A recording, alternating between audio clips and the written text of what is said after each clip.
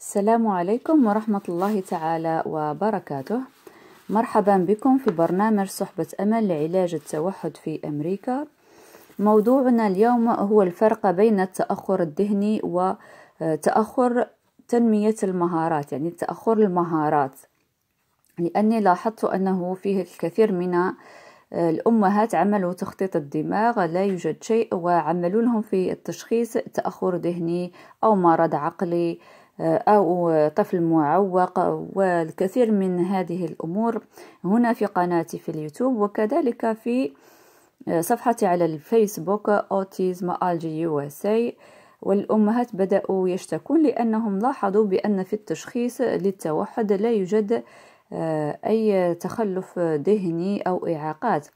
أنا ابني توحد شديد فبعض الأمهات كانوا يقولون لي إذا ابنك معوق.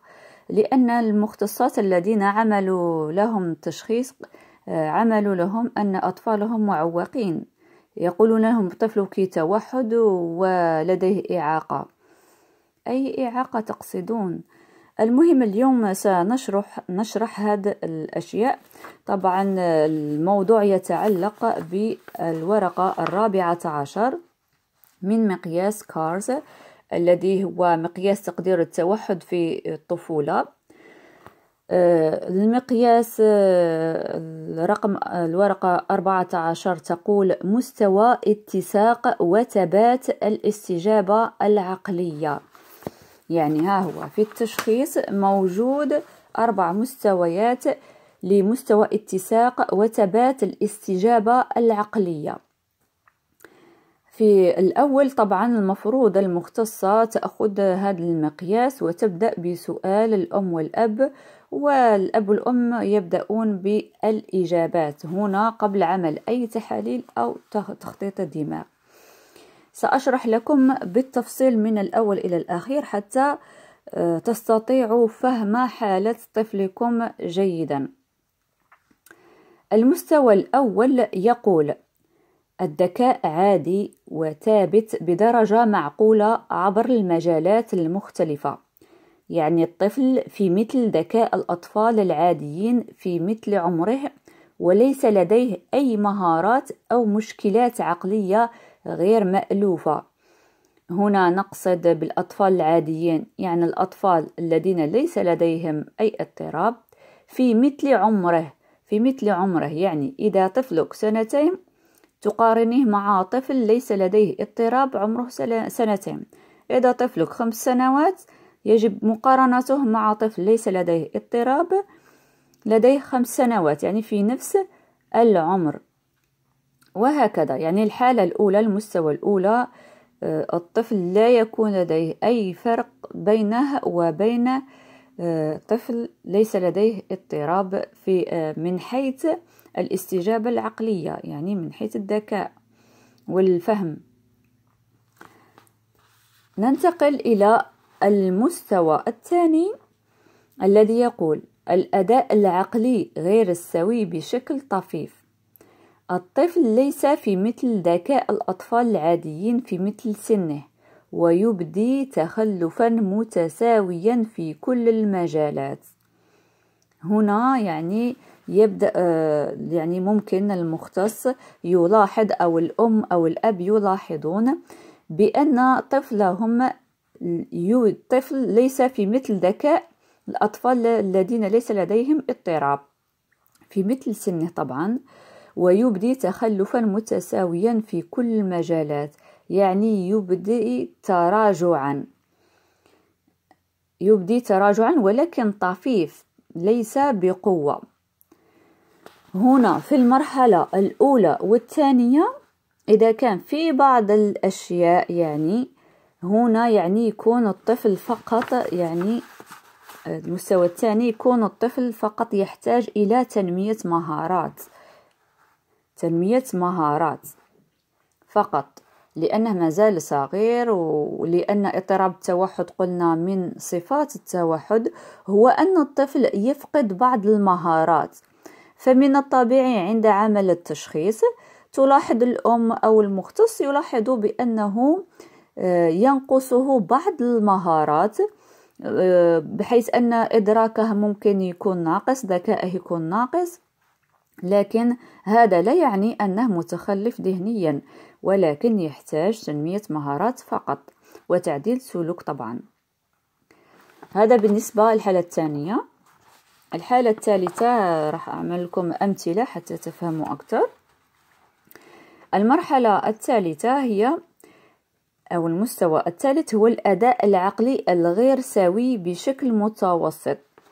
يعني الطفل ليس في مثل ذكاء الأطفال العاديين في مثل سنه ومع ذلك فإن أداء الطفل قد يكون سوي تقريبا في مجال عقلي أو آخر. يعني هنا أيضا في المستوى الثالث آه، ذكاء الطفل قليل بعض الشيء آه، ممكن إدراكه أيضا هنا هنا يكون إدراكه حتى تكونوا فاهمين أكثر. في المستوى الثاني يكون إدراك الطفل متوسط وحتى الذكاء يكون متوسط لكن في المستوى الثالث آه، يعني يكون الإدراك يكون ضعيف. والفهم ضعيف الذكاء يكون ضعيف. يعني كلما دربته على شيء آه، يعني تكوني تعملين لها تنمية مهارات فتلاحظي أنه فيه بطء في الفهم. يكون بطيء تكرري عدة مرات حتى يستطيع الطفل استيعاب ما تقولينه. هنا يكون في المستوى الثالث ولكن إلى حد الآن لا يوجد أي تخلف في هذه الثلاثة ثلاث مستويات لا يوجد أي تخلف عقلي نهائيا. المستوى الرابع والأخير ماذا يقول؟ الأداء العقلي غير السوي بشكل حاد. هنا هنا يكون الطفل ليس في مثل ذكاء الطفل العادي في مثل عمره فإن أداءه قد يكون حتى أفضل من الطفل السوي في مثل عمره في مجال أو أكثر. الطفل ليس في مثل ذكاء الطفل العادي. ولكن قد يكون حتى أفضل من الطفل السوي في مثل عمره. هنا حتى تلاحظي الفرق كما قالت إحدى الأمهات لديها ثلاث أطفال. اثنان لديهم تخلف عقلي يعني إعاقة عقلية وواحد لديه يعني اضطراب طيف التوحد. قالت بأن ابني الذي لديه توحد هو أسوأ من الذين لديهم تخلف عقلي. وهي قالت الحقيقة قالت الحقيقة لأنه آه، الذين لديهم التخلف العقلي يعني يقدمون لهم أدوية للأعصاب لتهدئتهم وكذا للأمراض العقلية يعني الأدوية من عن من قبل طبيب الأعصاب هو الذي يصف هذه الأدوية طبعا آه، قالت بأن أطفالها أفضل لأن لماذا؟ لأن الأطفال الذين لديهم أمراض عقلية أو تخلف ذهني يحتاجون أدوية عصبية طبية مباشرة ولكن هل يكون لديهم ذكاء أطفال التوحد؟ طبعا لا هذا هو الفرق يعني بمجرد أنه يأخذ الدواء يصبح طفل عادي مثله مثل كل الأطفال لكن طفل التوحد حتى لو قدمت له الدواء ستبقى عصبيته التي هي آه، مع سلوكه. يعني يحتاج دائما إلى تطبيقات ال ABA تعديل سلوك وتوجيه وكذا. يعني هذه الأشياء من صفاته من صفات التوحد. يعني الدواء لا يصلح لأطفال التوحد نهائيا. لكن يصلح للأطفال الذين لديهم تخلف عقلي. لذلك أنا لا أوافق التشخيصات التي يكتبون فيها توحد مع إعاقة. لا يوجد توحد مع إعاقة. يوجد إعاقة ذهنية أو تخلف ذهني وحدها ويوجد توحد شديد وتأخر مهارات وليس تأخر ذهني. هنا حتى تكونوا يعني في بعض الأمهات يكتبون تأخر فقط لكن فيه اختلاف كبير.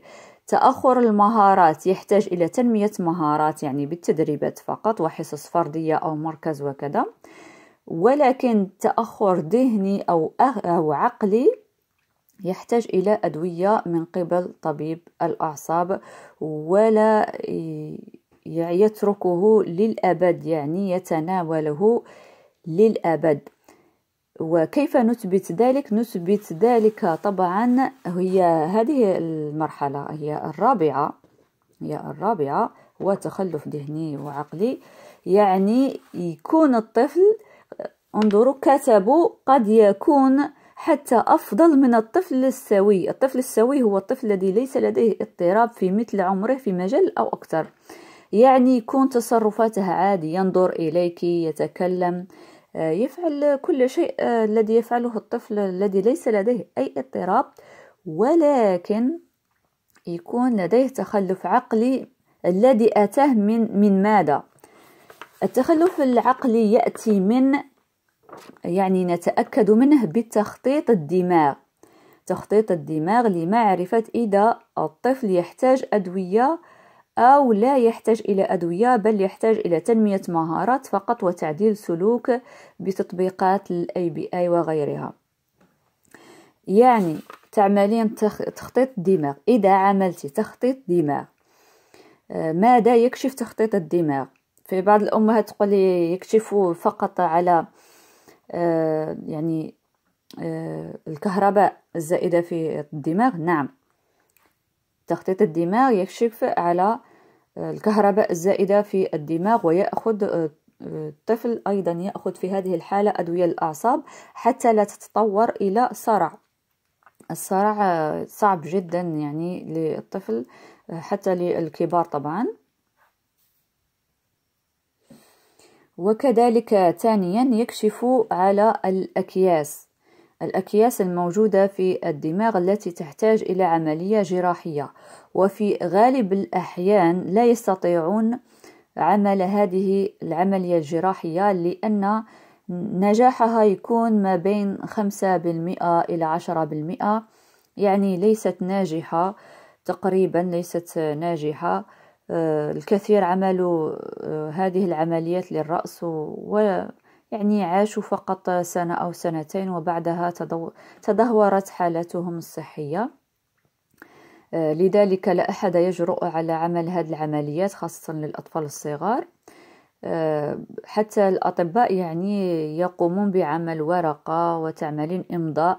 يعني كل شيء يعني نتيجة العملية هي مسؤولية الأب والأم لأن العملية ليست ناجحة. الطبيب لا يكذب عليك. يقول لك يعني أن هذه العملية ليست ناجحة لأن الطفل ولد بهذه الأكياس خاصة إذا كانت في مناطق معينة ضيقة جدا لا يستطيع الطبيب فعل أي شيء.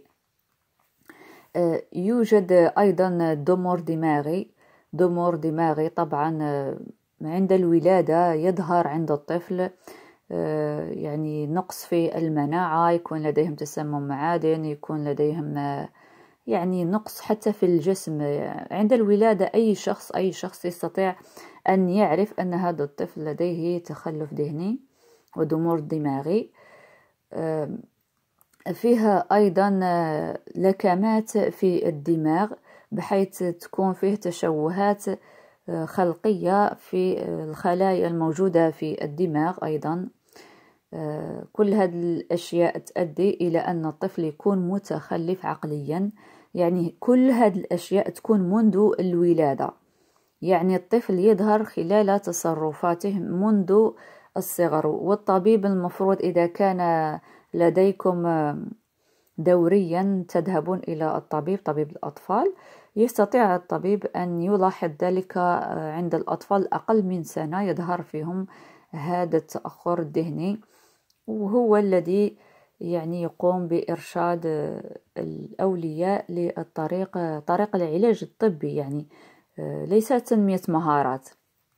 هذا هو الفرق.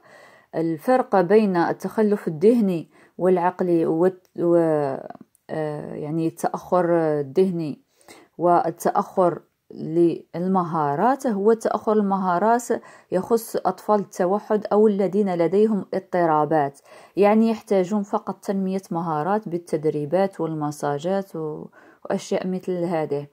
ولكن التخلف الذهني يجب يجب يجب أدوية من قبل طبيب الأعصاب والأمراض العقلية. وللأبد يعني يأخذ هذه الأدوية للأبد. يوجد تحاليل دم أيضا. تحاليل دم آه، تثبت آه، يعني إذا كان فيه وراثة في العائلة تحاليل جينية تعمل للطفل وللأم والأب حتى يعرفوا إذا كانت فيه جينات أدت إلى هذا التخلف الذهني أيضا. يعني في بعض الأحيان الدماغ تخطيط الدماغ ليس فيه أي شيء لكن التحليل الجيني يكون فيه بعض تشوهات جينية وراثية تؤدي إلى تخلف ذهني ويكون واضح أيضا منذ الولادة. يعني الطبيب المفروض يعرف هذه الأشياء منذ الولادة. لذلك أنا وضعت منشور حتى في صفحة على الفيسبوك أوتيزم ألجي وسي أنه يكشف على التأخر الذهني بتحاليل دم وكذلك بتخطيط الدماغ. يعني إذا عملتم تحاليل جينية للدم وتخطيط الدماغ الاثنين هما أكبر إثبات للتخلف الذهني. غير هذا المفروض المختص لا يكتب لكم في التشخيص بأن طفلكم تخلف ذهني بل تأخر مهارات مثل ما كتبوا لي في تشخيص ابني. عندما نسي كل شيء نسي كل شيء حتى الكلام أيضا توقف عن الكلام. فكتبوا له تأخر يعني توحد شديد وراثي مع تأخر. تأخر مهارات وليس تأخر ذهني. يعني حتى تكونوا هنا متفاهمين على الوضع. تأخر مهارات. وبالفعل أنا إلى حد الآن لدي سنتين وأنا أدرب ابني بدون انقطاع. آه، الحمد لله. يعني كان مستواه في مقياس CARS هنا ستون. في يعني التشخيص الأول عندما أسألكم ما هو تشخيص طفلكم أنا أقصد التشخيص الأول الذي عمل للطفل ماذا كتب فيه. أنا كتب في لطفلي توحد شديد وراثي مع تأخر مهارات وكان ستون في CARS هنا في أمريكا لا يستعملون CARS يستعملون حاليا. أنا استعملوا لابني آه، قبل سنتين طبعا. آه، استعملوا آه، كان عمر ابني سنتين. استعملوا DSM 5 وهو آخر تشخيص في أمريكا يضم كل الاضطرابات. تشخيص CARS يعني فيه تقريبا آه، توحد لذلك سمي بتقدير التوحد في الطفولة مقياس تقدير التوحد في الطفولة. وفيه عدة آه، مقاييس CARS ثلاثة أربعة خمسة يعني هذا هو الأخير. آه، لكن حاليا في أمريكا يعني ابني عملوا له ال DSM 5 الذي هو يخص كامل اضطرابات ويخص أيضا التخلف العقلي وفيه أيضا أسئلة حول البيئة وكيف كان قبل الولادة يعني كيف كانت حياتنا الزوجية قبل أن أكون حامل بهذا الطفل حتى يعرفوا أسباب التوحد. لأن أسباب معرفة أسباب التوحد تساعد كثيرا المختص آه، على عمل خطة علاجية فردية جيدة للطفل ويكون حتى الأب والأم مرتاحين نفسيا عند علاج طفلهم لأنهم يعرفون من أين جاء هذا التوحد وهل يشفى أم لا. مثلا أنا ابني وراثي ولديه مشاكل حسية مزمنة في العمود الفقري وأثبتنا ذلك بأشعة للعمود الفقري عند مختص الكايروبراكتيك وكنت صورت كل التحاليل طبعا آه، ويعني أنا أعرف أن ابني لن يشفى تماما ولكن هل هذا يعني أنه لا أعمل أي شيء؟ أذهب لأنام فقط؟ لا أنا إلى حد الآن أنا لا أقدم أي أدوية طبية لابني أي شيء. لا أدوية طبية ولا حمية غذائية لأني عملت تحاليل لتسمم معدن لا يوجد شيء لابني بالرغم أنه توحد شديد. يعني التحاليل والأشعة تثبت أشياء كثيرة. يعني برنامج صحبة أمل يعتمدون على الوثائق. وليس الكلام في الفراغ. يعني التشخيص إذا كان فقط في بالكلام راح يكون دائما ناقص. مهما يعني شرحت لكم راح يكون ناقص. لذلك أنا عندما أشرح لكم شيء أقدم لكم عدة حالات وأنتم من يقررون حالة طفلكم ماذا يحتاج؟ وعليه تستطيعون معرفة التدريبات الخاصة التي تساعده أو العلاجات أو آه، يعني التحاليل التي آه، تكشف عن تلك الأعراض. يعني كل شيء في محله. علاج التوحد مجال واسع واسع كثيرا. وأنا أحضر لكم تسجيل وضعت فيه كل الأشياء التي تخص علاج التوحد في مختلف مستوياته وعملتها على شكل نقاط واحدة تلو الأخرى. آه، ليس تعملونها بالترتيب وإنما يجب أن تكون موجودة عندكم. يجب أن تتوفر عندكم تلك الشروط التي هي نحتاجها أساسا في رحلة علاج أطفال التوحد. إن شاء الله فقط أنهي مقياس كارز بقي لي فقط ورقة واحدة وهي انطباعات عامة. وبعدها أشرح لكم آه، خطوات آه، الخطة العلاجية أو خطوات علاج أطفال التوحد بصفة عامة. يعني ماذا تحتاجون لعلاج أطفالكم؟ حتى إذا كانت أمهات جدد معنا أو آباء جدد يعرفون ماذا ينتظرهم. علاج التوحد هو ليس يوم أو اثنان. علاج التوحد فيه أشهر وسنوات ولازم صبر صبر صبر كثير جدا ومساعدة من قبل كل أفراد العائلة. والباقي طبعا على ربي سبحانه وتعالى. نحن نفعل ما علينا لنحسن مستوى الطفل مهما كان وضعه. والباقي على ربي سبحانه وتعالى. والشفاء من عند ربي سبحانه وتعالى بإذن الله. لا تنسوا الضغط على زر الإعجاب إذا استفدتم وطبعا أي أسئلة اكتبوها في التعليقات لنتناقش آه، فيها طبعا ونحن نتعلم نتعلم من, تجاربنا. أنا أيضا آه، أتعلم من تجارب الأمهات الذين أطفالهم أكبر من ابني طبعا. ويعني آه، اشتركوا في القناة إذا كنتم أمهات أو أعضاء جدد. ولدي قناة ثانية اسمها برنامج صحبة أمل. شرحت فيها خطوات برنامج صحبة أمل الخمسة. وكذلك كل الأنشطة التي يحتاجها أطفالكم من أجل تنمية مهاراتهم. أنشطة يومية حتى لا تتركوا مجال للطفل للتراجع. يجب أن يتقدم إلى الأمام ولا يتراجع بإذن الله إلى حد الوصول إلى مرحلة الشفاء التام بإذن الله. والسلام عليكم. نهاركم مبارك.